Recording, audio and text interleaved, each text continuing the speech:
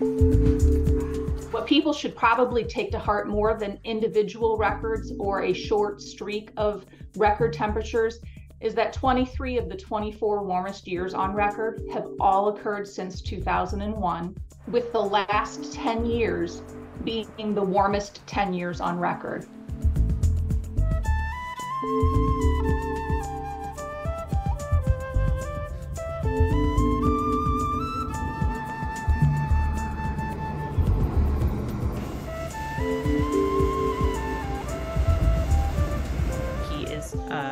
A substantial silent killer, I often say. So, as we see temperatures rising, we expect that um, the impacts of heat will be exacerbated.